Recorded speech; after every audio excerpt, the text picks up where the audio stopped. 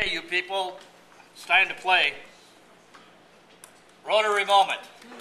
Everybody clap. Yeah, yeah, yeah, yeah, yeah, yeah. Okay, um, this month we've been going back to our roots and knowing a little bit about Rotary and how it expanded, which is uh, quite a phenomenal uh, when you look at the number of clubs and how quickly Rotary expanded from that first club uh, that uh, Paul Harris started in Chicago. So, we're talking about a number of firsts. We got out of order last year, or last, last week, and we, we took my last one first. So last week we learned what was the first Rotary Club that was established south of the equator. Do you even remember from last week? Uruguay, you're right there. Montevideo, Uruguay. Okay, well, we want to do the same thing today, but we're going to go backwards a little bit in time. And we want you to match your answer with the club's prez. I asked the club prez,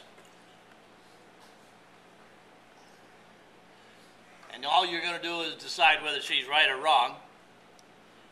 I asked the club prez that while Rotary came into being in 1905 and its, its popularity spread, it did go national and uh, international and pretty quick.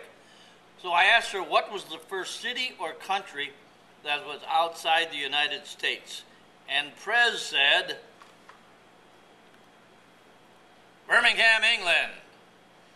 Now the question is, no, we've got to vote, Steve. Is the Prez right or is the Prez wrong? How many say she's right? One. How many say she's wrong? Very good. Okay, you people who say she's wrong are right.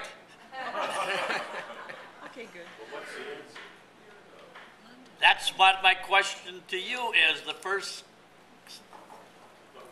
give the others a little bit of fighting chance. What was the first country or city outside of the United States? If nobody else can answer it, we'll have Steve tell us. I think I know, but I might be wrong. Go ahead. I think it's London. And my, London is another choice. No. Was it Canada? Canada. oh, really? Canada, Toronto. Montreal, right? Montreal. Montreal, Winnipeg. you're getting close. Oh, my God. Alberta. Winnipeg, Canada was the first city outside of the United States, and it was within a few years after Rotary had expanded. It expanded to San Francisco, and then almost all of a sudden it had expanded outside of the United States. And it did that April of 1912, which is seven years or six years uh, after Rotary was first started as a small little club. Phenomenal growth of Rotary. Next year we're going to take another leap. By next week, I'm not going to be here, but somebody can do it for me. And uh, we'll see what the next first was for Rotary, and we'll also see whether the Prez is right or wrong.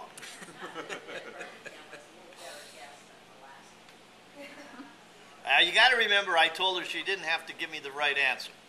She just had to give me an answer. So we don't know whether she was spoofing or not. Okay, thank you for playing Rotary Moments.